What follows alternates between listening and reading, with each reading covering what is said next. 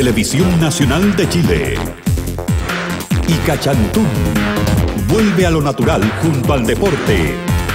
Presentan, para mejorar tu cuerpo y tu mente, Deporte y Salud. Apuntar, dar en el blanco, asestar con un arma arrojadiza o de fuego. El tiro pone a prueba nuestra vista, nuestro pulso y nuestra paciencia. Y no solo eso, además de una depurada técnica, disparar con distintos tipos de armas sobre blancos móviles o fijos prueba nuestro equilibrio interno, sobre todo bajo presión. Cuando un disparo, un solo tiro, hace la diferencia entre la derrota o el éxtasis de la victoria. Cuando está en juego la vida o la eternidad.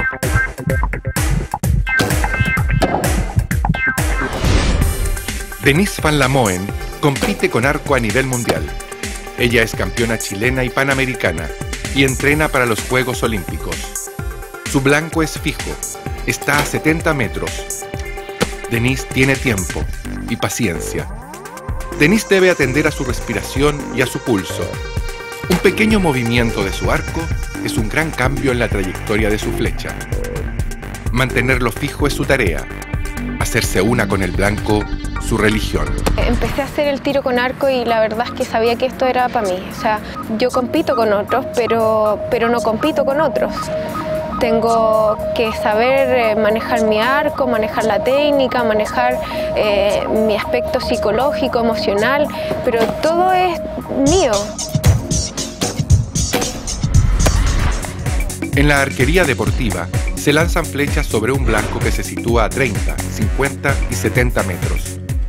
Su diámetro es de 1 metro y 22 centímetros, dividido en 10 círculos concéntricos. Dos blancos, que marcan 1 y 2 puntos. Dos negros, que dan 3 y 4. Dos azules, que dan 5 y 6. Dos rojos, que dan 7 y 8. Y dos amarillos, que dan 9 y 10. Gana quien es más preciso, quien hace más puntos. Ahora vamos a entrenar la parte precisión que se hace ya en las distancias con un blanco puesto y vamos a 70 metros que es la distancia más larga que hacemos las mujeres en competencia. Lo que voy a hacer es fijar la mira para la distancia de 70 metros. Si usted fija acá hay unos números. Yo tengo anotado que la distancia para 70 metros está más o menos en 80. ¿ah? Entonces lo que voy a hacer es bajar este carro porque la teníamos posicionada para una corta distancia llevarlo hasta ahí, hasta 80. Entonces la parada normalmente es paralelos a la línea y la apertura de los pies a la altura de los hombros. El arco hay gente que lo apoya aquí. Luego las caderas, esto no es una buena posición. Estar con la, con la cola parada, no, hay que tener los abdominales apretados para proteger la espalda y mantener una postura rígida. El arquero parte, saca la flecha, la posiciona por detrás del clicker, la posa sobre el rest y la colita acá, el knock, se inserta entre esos dos puntos más oscuros que se llama knocking point. Se posicionan las manos donde corresponde, la mano izquierda solo se apoya. Y luego los codos.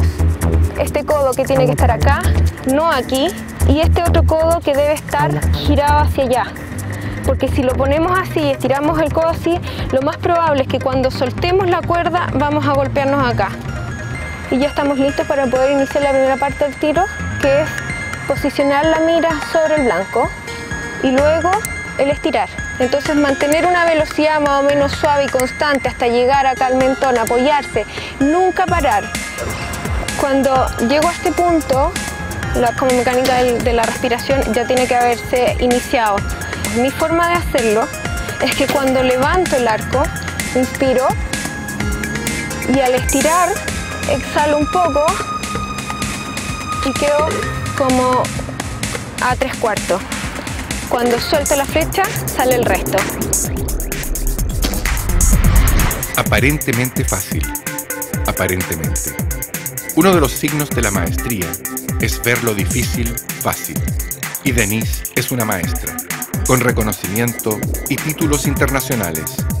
Ser capaz de mantener el pulso a pesar del fragor de la competencia es un tremendo signo de autocontrol. ¿Cómo hacerlo? ¿Cómo mantener el centro? ¿Cómo evitar que nos posea la ansiedad, el miedo a ganar o a perder? Yo creo que tiene que ver más con aspectos psicológicos, más que con lo técnico, porque ya a esas alturas la parte técnica está ya depurada, es ya constante. Es lo que se busca en general en la parte técnica, es una constancia en cada movimiento, la repetición debe ser muy similar a eh, eh, un tiro al, al anterior. Entonces, en los Juegos de Sur yo sentí estar en ese estado, mental y emocional es, difícil describirlo, pero no me sucedió en toda la competencia. La verdad es que los primeros días de competencia estábamos todos, yo creo que muy desenfocados. Pero ya el día de la eliminatoria y de los duelos, ya logré yo por lo menos eh, meterme en esas sensaciones que había que buscar, un poco abstraerme de, lo que está fuera de mí, que era el viento, las malas condiciones climáticas, eh, las malas condiciones de la cancha. Eh, todas esas cosas que están fuera de uno ya, bueno, estás en la final y dices, bueno, o te quedas, tienes dos alternativas, te quedas preocupado de lo que está fuera de ti o empiezas a hacer un trabajo interno para que se refleje en el blanco. Yo siempre he pensado que el blanco es, es como un espejo. Gran parte del entrenamiento en el tiro viene dado por mantener el centro, por mantener la concentración. Y existen técnicas Quizás los ejercicios de concentración que usan la respiración son los más indicados. Para disipar la tensión conviene hiperventilar, es decir, respirar agitadamente por nariz y boca hasta quedar incluso mareados. Una vez que la tensión ha sido disipada, nos concentramos en la respiración, en sentir el paso del aire por la nariz y por la boca. Da lo mismo si respiramos por la nariz, por la boca o por ambos porque nos distraigamos. Lo importante es concentrarse en sentir el paso del aire mientras respiramos. El arco y la flecha son armas ancestrales, de caza y defensa. Su maestría es símbolo de supervivencia. Más allá de la guerra, en Oriente también es un símbolo de la cultura zen. Zen significa estar en el presente, en la impecabilidad, en la máxima precisión, en el centro, reflejo de un estado interior, pacífico e intenso, como asestar con el arco. Las cosas tienen energía, todo es energía, y, la tierra es energía, el viento es energía, eh, el sol es energía y es ir tomando energía de ir sintiendo lo que nos rodea y que todo eso nos puede entregar energía ir tomando esa energía. Y, todo eso lo hacemos en un ejercicio de 15 minutos antes de empezar un entrenamiento, una competencia, donde ya logramos esa calma y estar conectados con, con esa naturaleza que es energía. Una práctica, un entrenamiento solitario, silencioso, donde Denise viaja por sus mundos interiores en busca de ese centro que la llama, como la vida. Pero Denise debe entrenar también su cuerpo. Disparar cientos de flechas tensando un arco y sosteniendo esa tensión es una tarea intensa. Ella debe fijar todo su cuerpo y su mente. Y para esto necesita fuerza y resistencia muscular, para no decaer. Una competencia con arco se define en varias vueltas. Una clasificatoria a 72 flechas selecciona los 64 mejores. Luego una fase de knockout con duelos a 18 flechas. Desde los cuartos de final en adelante, los duelos son a 12 flechas en series de A3, alternadamente. Aquí está en juego todo. Una pequeña zozobra interna, una brisa, puede desviar el intento. Y los que ganan son los que se mantienen ahí, sin perder su centro, en la zona es cuando uno agarra una cierta sensación y sabe qué es lo que tiene que sentir en cada uno de los tiros y, ya no te viene, eh, digamos, como por casualidad cada vez que, que lo sientes, sino que ya eres capaz de buscarlo y no solo buscarlo, sino que también encontrarlo. Pero a pesar del máximo autocontrol, estamos siempre en movimiento. Nuestros latidos cardíacos son movimiento. Las fluctuaciones de tono muscular también. Un tirador debe escoger el momento justo, cuando siente que su ojo, el arco, la flecha y el blanco son uno solo. En esto, el control de la respiración y de los latidos puede resultar fundamental.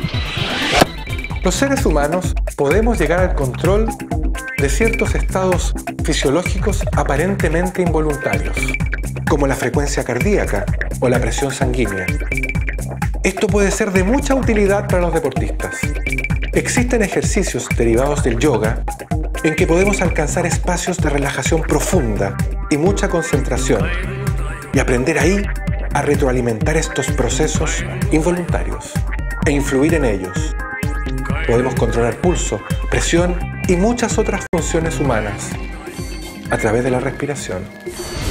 Pero también podemos bajar nuestro pulso con drogas. Los beta bloqueadores son drogas que bajan el ritmo cardíaco, como el propanolol, una sustancia derivada de la adrenalina que anula su acción. El propanolol se digiere fácilmente y viaja por nuestra sangre hasta el corazón, donde bloquea la acción estimulante de la adrenalina en receptores localizados en su sistema eléctrico de marca paso. Un pulso bajo, químicamente inducido, una trampa, una sustancia prohibida por el Comité Olímpico Internacional y que constituye dopaje. El centro interno y su expresión en un centro externo no se alcanza con trampa. Un campeón tirador lo alcanza a través del autocontrol, de la concentración de la retroalimentación de su entrenamiento. Un largo camino para dar con el blanco, la manifestación externa de su propio balance. El centro está totalmente acá adentro. Yo busco sentir y tener cosas acá y como te decía antes, el blanco para mí es un espejo y va a reflejar lo que yo estoy sintiendo, lo que estoy siendo en ese momento. Televisión Nacional de Chile y Cachantún. Vuelve a lo natural junto al deporte. Presentaron para mejorar tu cuerpo y tu mente. Deporte y salud